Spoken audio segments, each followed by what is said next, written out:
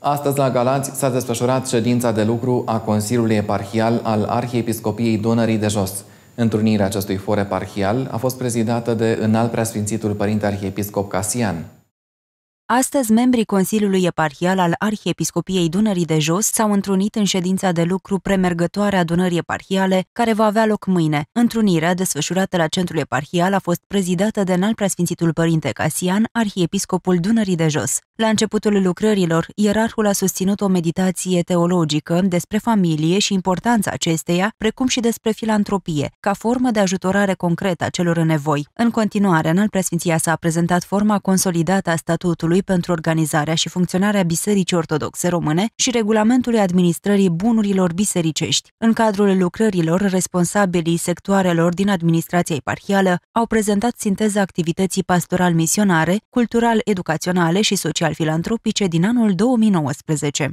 În urma analizei s-a constatat că, în cea mai mare parte, veniturile au fost asigurate din activitatea de cult specifică, contribuțiile credincioșilor, distribuirea de lumânări, colportaj bisericesc, din care s-a reușit asigurarea desfășurării activității misionare și filantropice și achitarea salariilor. Un capitol aparte l-a constituit analiza activității filantropice desfășurată în cadrul eparhiei, suma totală acordată fiind de 7 milioane 280.000 de lei, din care din fondurile centrului eparhial suma de 2 milioane 454.000 de lei, din bugetele subunităților, parohiilor și mănăstirilor, suma de 2 milioane 572 de mii de lei, iar diferența a fost asigurată prin uh, atragere de fonduri. Mâine, în cadrul comisiilor adunării eparhiale,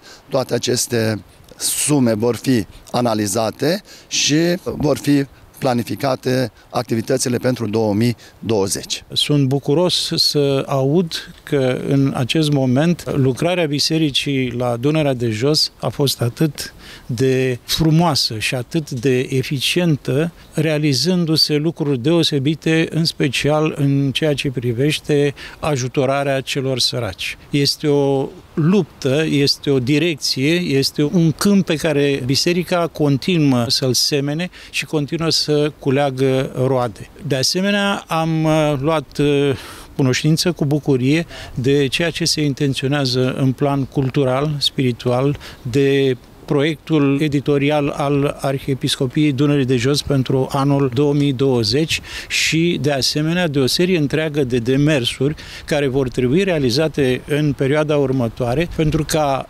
Muzeul Culturii Spiritualității la Dunărea de Jos să poată să capete o și mai mare eficiență în planul educației, unde deja de la inaugurare din 2014 în prezența preafericitului Părinte Patriarh și până astăzi a împlinit peste 200 de mii de vizitatori. Un proiect important în contextul anului omagial dedicat pastorației părinților și copiilor îl constituie identificarea familiilor cu mulți copii și cu posibilități materiale reduse, în special din mediul rural, pentru a fi sprijinite cu cele necesare unui trai normal.